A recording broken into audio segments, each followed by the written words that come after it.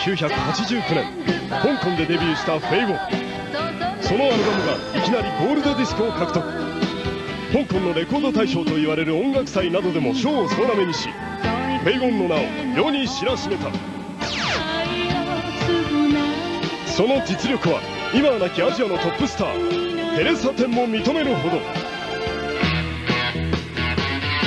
あのローリング・ストーンズのキース・リチャーズもファンの一人である。日本武道館と言われエリック・クラプトンやスティングもコンサートをした香港コロシアムで17日間連続公演。その快挙は香港音楽史に刻まれた。アジアでの精力的な音楽活動はもとより欧米のファッション誌の表紙を飾るなど多方面でも知名度が上がった。全世界に週540万部もの売り上げを誇るあのタイム誌の表紙にも取り上げられた。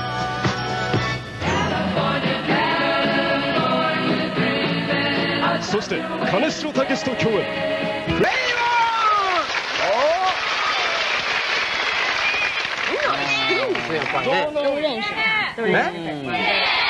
綺麗。綺麗。綺麗。可愛い。あと細い。ああとはナイスバディ。素敵白い。アイスコーヒー。もうええな。いや、あんたこれやったんね。あんた、彼女にアイスコーヒー言うたって喋る你不要把这个冰咖啡放进放过去。いや彼女向こうではすごいらしい。在中国非常受欢迎的女明星，CD 山ほど就是売れて。CD 了，唱了不少，就就销售了。ね嗯，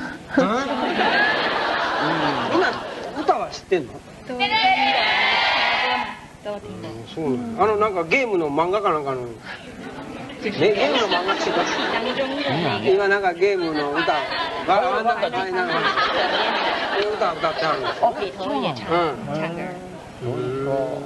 えー出したらすごい売れるらしいんですよ向こうで。ミュー唱ジシャン。な跳，んですよね是ミュージシャン。音乐家，是音乐家，歌手。是是歌手，でも女優さんもやってる女優さんもやってますよね。主要是恋する惑星歌手。我们メインはうん歌です。メインは歌で。で女優もやってる。也演戏，嗯，偶尔ちょ時々。まあ時々ちょっと日本で本格的にドラマにでも出たのかしら。在日本有没有准备参加电视连续剧？在日本有没有准备参加电视连续剧？没有。いいえ、そんなつもりはないです。でもでもちょっとだけやってみ見たのかしら。还是想参加一下，但是还是想参加一下。没有でもちょっとかもうええやんもう。いいえ言ってんねんからそれ以上押したって無理やって。でもコンサートをやってらっしゃる但んですよね。日本で。在日本。嗯どうですか？日本の客は。怎么样？日本的观众怎么样？很好，とっても。素晴らしい。とってもあの情熱的で素晴らしい。そう今半々しか言って看的太多。わからん思って思ってじゃあですねわかりましたえ今日の曲は？今天的歌就是《对そのそのあのファイナルファン是タ Final ジー Fantasy 的那个歌吗？。对，はい。あ嗨，あなんか要は宣伝でずっと流れてるじゃないですか宣传的时候就常常 CM 可以听到，就 CM 里头可以听到这个歌，啊，可以 CM 里头それですよね就是那个吧。いやお前聞けよ